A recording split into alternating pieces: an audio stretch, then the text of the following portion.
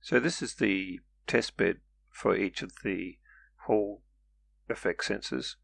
How do they each react as a magnet is brought to bear? I'm going to start with a 49E, which is an analog output. So as we bring the magnet close, the voltage increases.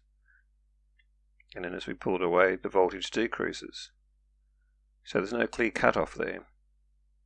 But of course that could be useful, particularly if you want to find out the direction of the field. So swapping to the other side, you can see that as we bring that same pole closer, the voltage decreases this time.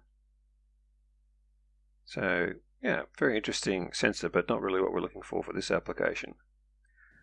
So looking at the U18, this time as we bring it closer, you can see that a voltage of around about 4.5 volts drops right down to zero. So that's a very definite digital output. You can also see in this circuit that there's been the addition of a 10k resistor between the output and VCC, which is necessary for um, these, this particular type to work. Uh, even rotating it, you can see there that you can go because you're changing the direction uh, of the field that it changes. Alright, so this is a 3144, which is what I eventually settled on using for the circuit. And uh, like the U18, it um, it's just got a binary output. So you've got four and a half volts, and down to nothing. Uh, and you can see as you rotate it around, also it has that same effect as the field changes.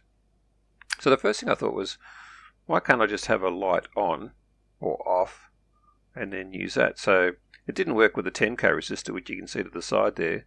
With a 1k resistor, yeah, you get you get something happening, but you can see that the voltage is um, is quite low, 1.62 and then down to zero. So a very thirsty circuit and not quite what we're after.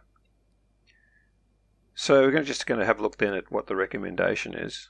So this is the recommended circuit and you can see the four NAND gates there which we tested in another blog, they all work. So all we need to do is just hook up that circuit.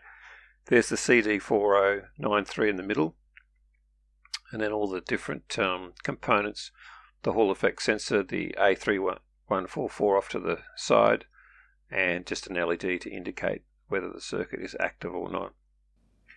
So here the sensor is picking up that there is a field. We take that field away, and um, yeah, what ha actually happens is then is that that light goes on.